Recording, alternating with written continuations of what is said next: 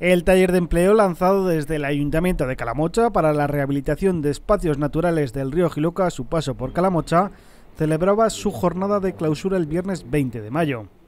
Durante un año los alumnos de este programa han estado trabajando en potenciar el entorno desde el puente romano al acceso del parque por el río Giloca, una fase del proyecto ideado desde la Fundación San Roque y que ha encontrado algunos obstáculos, como el planteado para la zona del Trambasaguas del término de Luco de Giloca y ahí este año hemos tenido eh, unos cuantos problemas, ¿no?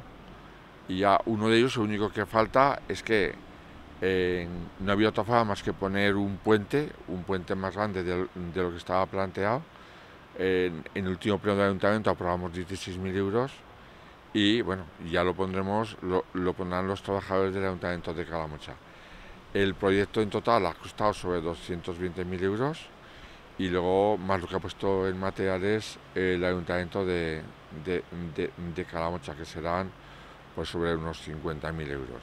Este tipo de programas son vistos como un clásico de políticas activas de empleo por parte del INAEM que presta su apoyo y respaldo una forma de, de, programa integral en el que está la parte formativa eh, teórica y la parte práctica en un puesto de trabajo, con lo cual son programas muy completos que además llevan toda esa formación de certificados de profesionalidad y luego también la transversal que siempre decimos de sensibilización, igualdad medioambiental, igualdad de oportunidades, con lo cual los alumnos siempre salen con una formación muy completa. Primero hacer una serie, hacer las prácticas, claro, en, sobre todo en, en la parte exterior del convento y en los propios jardines y el entorno de Calamocha y luego ya se empezó, perdón, ya se empezó con la obra en sí, ¿no? que ha consistido en dos actuaciones.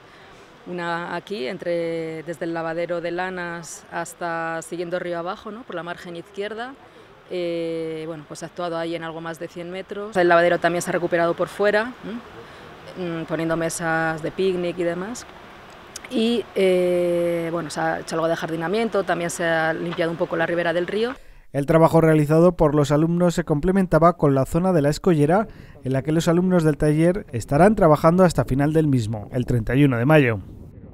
Y ahora están trabajando ya, pues bueno, pues en allanarlo, porque ahí iría una parte dedicada a los jóvenes y a los niños y a las niñas, ¿no? Los y las jóvenes consistente sobre todo en eh, poner una valla de madera tejana, una valla igual que esta, con el mismo estilo, mm, eh, siguiendo el, perfil del río Giloca. La recuperación y entorno del Giloca, su paso por Calamocha, también ha visto mejoradas las inmediaciones del patrimonio industrial. El ayuntamiento empieza a barajar las futuras líneas del próximo taller de empleo. El Martinete sería pues, uno de los dos eh, de mejor conservación de España y el lavador Anas, que se recuerdan, estaba con un punto negro por Hispania Nostra, ahora es todo lo contrario, no lo ponen como un ejemplo a seguir. Obviamente el trabajo no ha terminado y ya estamos, estamos eh, trabajando, valga la, redundancia, en el siguiente, en el siguiente que podría ser eh, pues desde aquí, desde el puente romano hasta el puente, el puente latero. Habrá que planificar algún, algún puente más para, cruzar el río y obviamente otras actuaciones que tenemos verdes.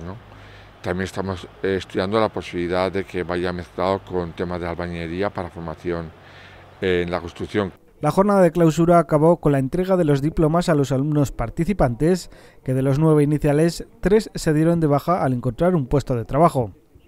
Con la finalización del programa han obtenido dos certificados de profesionalidad, como auxiliar de montes y auxiliar de jardinería, además del carnet de aplicador de productos fitosanitarios y el diploma de competencias informáticas.